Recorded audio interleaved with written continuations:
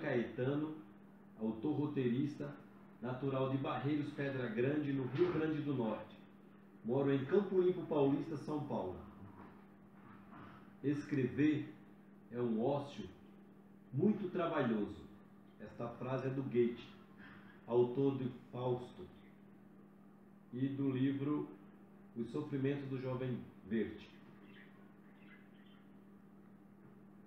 Um ócio. O ócio é aquilo que te dá prazer, o descanso, o lazer. Muito embora as religiões tenham associado o ócio à preguiça, que é um dos sete pecados capitais. Mas o Domênico de Masi fez um grande estudo onde fala que o ócio é o momento da criatividade. Está no livro Ócio Criativo. Por que, que escrever é um ócio trabalhoso? Porque escrever requer pesquisa, estudo. E ao mesmo tempo que te dá prazer, ele também causa exaustão.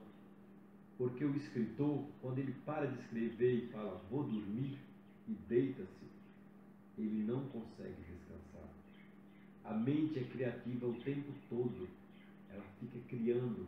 Você fica deitado, tentando dormir, vendo imagens, criação de personagens, tramas, peripécias, aventuras, grandes realizações. É por isso que escrever é um ócio muito trabalhoso. É um ócio porque te dá muito prazer. E é trabalhoso porque você tem que estudar para criar, para dar mais expansão à sua criatividade.